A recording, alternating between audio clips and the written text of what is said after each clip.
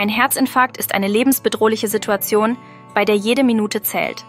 Laut dem deutschen Herzbericht starben 2022 über 46.000 Menschen daran. Frühe Erkennung der Symptome kann Leben retten. Typische Symptome eines Herzinfarkts bei Männern sind Brustschmerzen, die länger als fünf Minuten anhalten und in Arme, Hals oder Kiefer ausstrahlen. Weitere Anzeichen sind Atemnot, kalter Schweiß, blasse Haut und Übelkeit. Frauen zeigen oft unspezifische Symptome, die leicht übersehen werden. Dazu gehören Rückenschmerzen, Kurzatmigkeit, Übelkeit, Oberbauchschmerzen und unerklärliche Müdigkeit. Auch ein enge Gefühl in der Brust kann auftreten. Ein stiller Herzinfarkt tritt häufig bei Diabetikern oder älteren Menschen auf. Aufgrund geschädigter Nerven durch Diabetes werden Schmerzen oft nicht wahrgenommen. Dies kann zu einer gefährlichen Sauerstoffunterversorgung führen. Neben den bekannten Symptomen gibt es auch ungewöhnliche Warnzeichen.